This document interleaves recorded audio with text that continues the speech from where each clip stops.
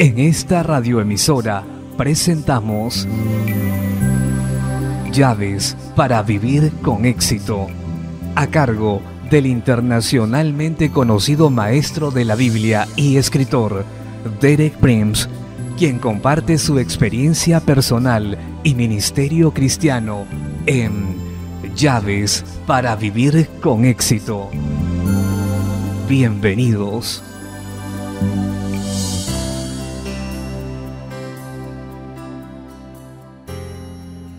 Llaves para vivir con éxito presentan cómo orar y obtener lo que usted ora 2, parte 3.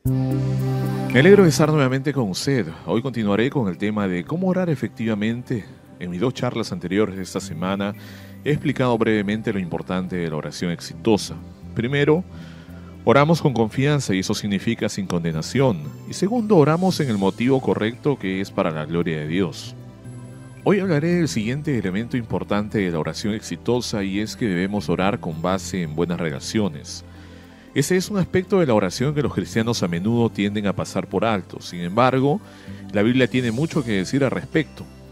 Empecemos en el Sermón del Monte, que es un tipo de constitución para la vida cristiana. En Mateo capítulo 5, versos 23 y 24, Jesús dice, Por tanto, si traes tu ofrenda al altar y ahí te acuerdas de que tu hermano tiene algo contra ti, Deja ahí tu ofrenda delante del altar y anda, reconcíliate primero con tu hermano y entonces ven y presenta tu ofrenda. Por supuesto que eso está expresado en la terminología del sacrificio del Antiguo Testamento, pero tiene una aplicación en el Nuevo Testamento. No vamos generalmente a un altar literalmente hablando, pero vamos a la presencia de Dios y allí nos arrodillamos. Jesús dice, si vas en camino a orar con Dios y te acuerdas que tu hermano tiene algo contra ti, hay algo que has hecho, has herido y ofendido o dañado a tu prójimo, o dañado a tu prójimo y no has arreglado el asunto, entonces deja tu ofrenda delante del altar y su ofrenda incluye su oración. No sigas orando, sino que ve donde tu hermano primero y arregla el asunto con él y luego ven y presenta tu ofrenda, es decir, su oración. Eso me indica claramente que no podemos esperar que Dios escuche nuestras oraciones si tenemos una mala relación con otro creyente. Si queremos que nuestra oración sea escuchada, primero tenemos que arreglar nuestra situación con ese otro creyente. Primero tenemos que arreglar nuestra situación con ese otro creyente. Yo he probado eso en mi propia experiencia más de una vez. He visto cómo al buscar a Dios en oración, el Espíritu Santo me ha traído a la mente algo que había dicho o hecho y que debía ir a solucionar el asunto. Recuerdo que hace muchos años nuestras hijas que tenían unos 12 años hizo algo que me molestó. La regañé y me enojé demasiado. Me excedí mucho más de lo que meritaba su ofensa. Recuerdo que en las siguientes 24 horas cada vez que trataba de orar, lo único que podía pensar era en que lo lo único que podía pensar era en lo que le había hecho a mi hija. Eventualmente tuve que humillarme ir ante ella y decirle, siento mucho que me haya enojado tanto contigo. En realidad no se justificaba. Por favor, perdóname. Y después de eso tuve mucha libertad en la oración. Recuerde, no traiga su ofrenda al altar de Dios si hay algo entre usted y su hermano. Bien podría ser un miembro de su familia. Pablo destaca lo mismo en 1 de Timoteo capítulo 2, verso 8 Hablando de la oración dice, quiero pues que los hombres oren en todo lugar levantando manos santas sin ira ni contienda. Note los dos requisitos. Primero, que levantamos manos santas. La palabra santas indica que nuestras manos no hayan sido manchadas o corrompidas por actos o hábitos malos. Que la, que la manera en que vivimos sea aceptable a Dios. Pero luego Pablo habla de nuestra relación, sin ira ni contienda, sin enojos, sin disputas y sin luchas. Le diré que es muy difícil hacer oración que Dios conteste en un hogar que está lleno de disputas y riñas, en una iglesia que está llena de contiendas y peleas. Muchas veces hay mucha ira y contienda aún en las iglesias, aún entre los miembros de la junta directiva de las iglesias, y luego se vuelven a Dios y oran. Pero nada sucede en contra... pero nada sucede en contestación de pero nada sucede en contestación a sus oraciones porque como Pablo dice, primero tenemos que deshacernos de la ira y la contienda. Tenemos que orar con paz y en buenas relaciones, reconciliación y armonía. En 1 Pedro capítulo 3 verso 7, esto se aplica específicamente a las relaciones entre esposo y esposa. Pedro dice, vosotros maridos igualmente vivid con ella sabiamente, dando honor a la mujer como a vaso más frágil y como a coherederas de la gracia de la vida, para que vuestras oraciones no tengan estorbo. Note que si hay una mala relación entre esposo y esposa, es muy posible que sus oraciones encuentren estorbo. Dios no contestará sus oraciones hasta que esa relación sea ajustada y Dios pone la responsabilidad principalmente sobre el esposo para que él lo haga. Él dice, vivid con vuestras esposas sabiamente. Recordad que es un vaso más frágil. En el mundo, cuando las personas se encuentran con alguien que es débil, tienden a tratarlo con desprecio o menospreciarlo o a reprimirlo. Pero el espíritu del Evangelio es completamente diferente. Pablo dice, porque es un vaso más Pablo dice porque es un vaso más frágil, dale tanto más honor y recuerda que es una coheredera de la gracia de la vida. Como yo lo entiendo de acuerdo con la ley que regía en estos tiempos, cuando dos personas eran coherederas de cierta herencia, ninguna podría reclamar la herencia sin la otra.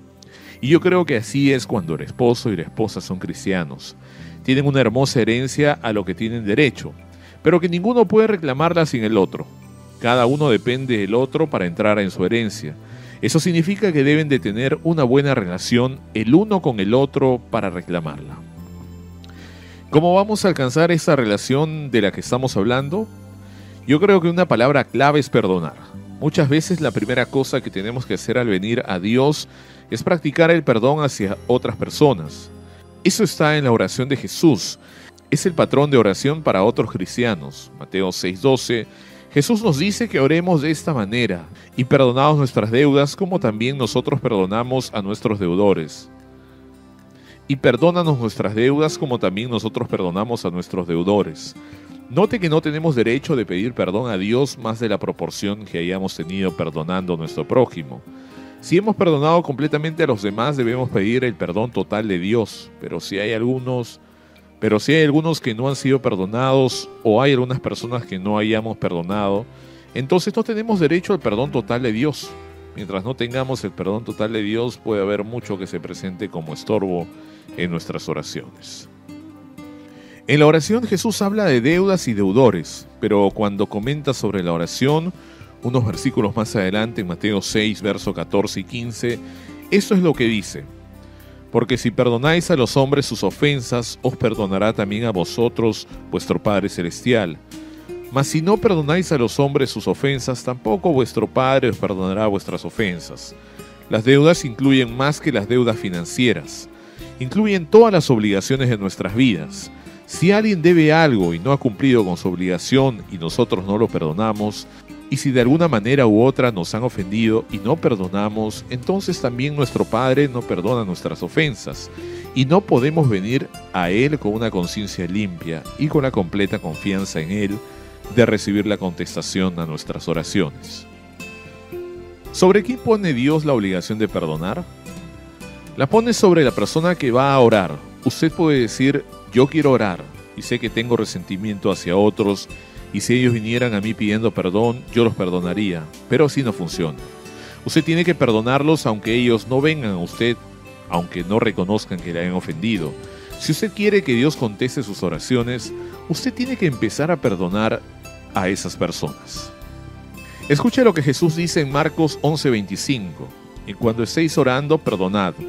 Si tenéis algo contra alguno, para que también vuestro Padre que está en los cielos os perdone a vuestras para que también vuestro Padre que está en los cielos os perdone a vosotros vuestras ofensas. Jesús dice perdonad si tenéis algo contra uno.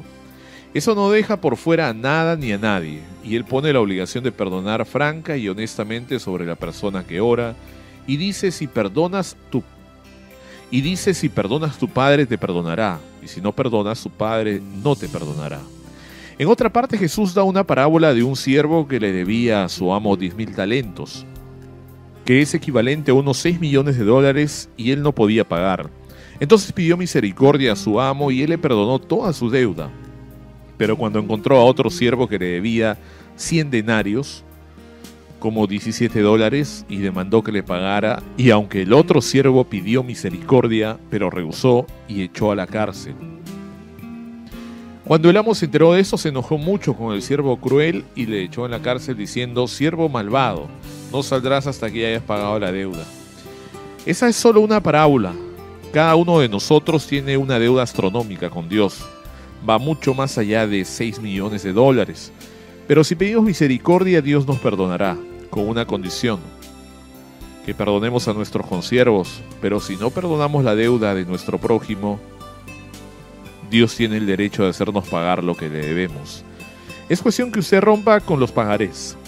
Recuerdo una vez que predicaba sobre ese tema y dije, si es usted una mujer, su esposo puede deberle mucho. Los pagarés son legítimos, pero Dios tiene muchos pagarés suyos en su mano. Dios dice, si rompe los tuyos, romperé los míos, pero si los guardas, guardaré los míos.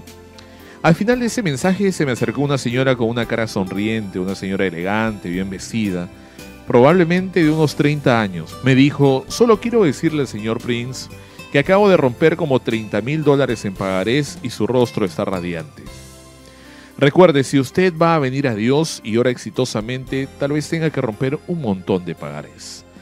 Nuestro tiempo por hoy ha terminado. Regresaré mañana a la misma hora para hablar del siguiente elemento importante de la oración exitosa que tiene que ver con ser dirigido por el Espíritu Santo.